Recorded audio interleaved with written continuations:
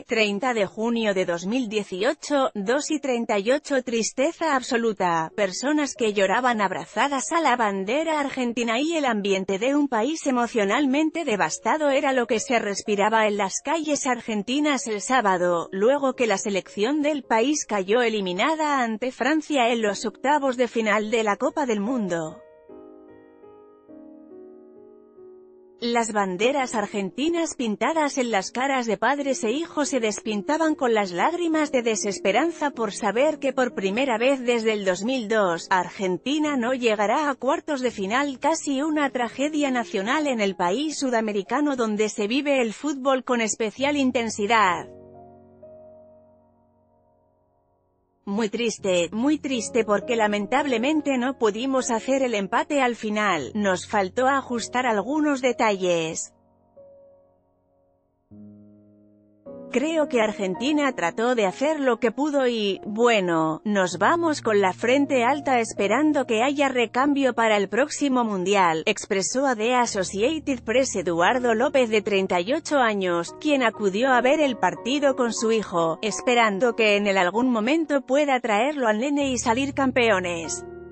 Faltó que salga un poco, Leo, Messi también, añadió, y asomaron las habituales críticas al astro argentino, a quien se le niegan los títulos con la selección, a diferencia de lo que ha ocurrido con su célebre trayectoria en el Barcelona. Les Bleus se impusieron por 4 a 3 en uno de los mejores partidos vistos hasta ahora en el Mundial, en el que los dirigidos por Jorge Sampaoli estuvieron por momentos arriba en el marcador. Dos goles fulminantes en cuatro minutos por parte de Kylian Mbappé, la figura del partido, borraron de un plumazo las esperanzas argentinas. Doloroso como para todo argentino, pero orgulloso a la vez porque estos pibes dejaron todo, no se les puede pedir más de lo que hicieron hoy, más allá del dolor. Desde el principio, desde el Mundial pasado, fue una organización muy fea, siempre se le exigió todo a Messi, afirmó Alejandro Celada, de 32 años.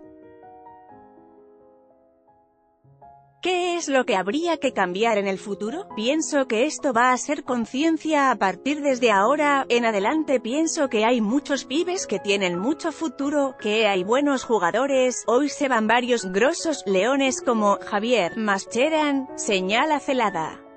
Lo que hay que cambiar es la cabeza de arriba, una buena organización, tirarle más buena onda a la selección.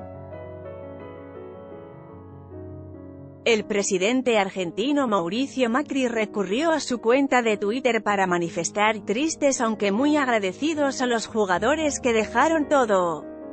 Hoy los franceses nos ganaron bien, sin embargo no todos estaban tristes en Buenos Aires. Un gran partido, fue un partido muy intenso, hemos tenido suerte con el gol de Mbappé y pues todo se va mejorando y ahora estamos muy contentos. Mucha suerte para Argentina, nos volvemos a ver en el próximo Mundial, afirmó a la AP Florian Bochum, un ciudadano francés que está recorriendo Latinoamérica como mochilero, y que vio el partido, el único francés entre una multitud en Buenos Aires, ciudad que afirmó amar. Minutos después de la derrota, los argentinos mostraban también su faceta más filosófica y realizaban un análisis más puramente futbolístico de lo ocurrido.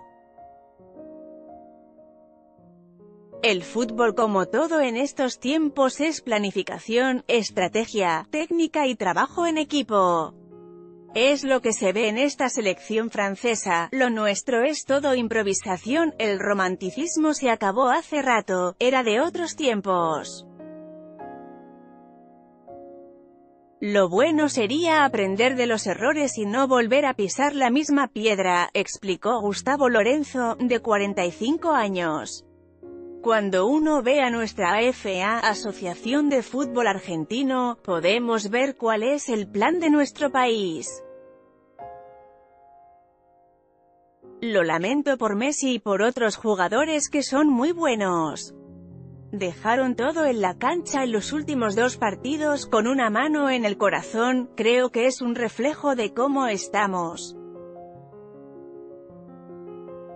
Es un sentir compartido por muchos. Me parece que fue la conjunción perfecta de un equipo sin trabajo y con buenos jugadores. Se peleó hasta donde se pudo, se sacó un resultado digno, mentiroso, porque Francia en todo momento fue mejor. Y nada más, es el resultado de un desorden institucional tremendo, analizó por su parte Horacio Speche.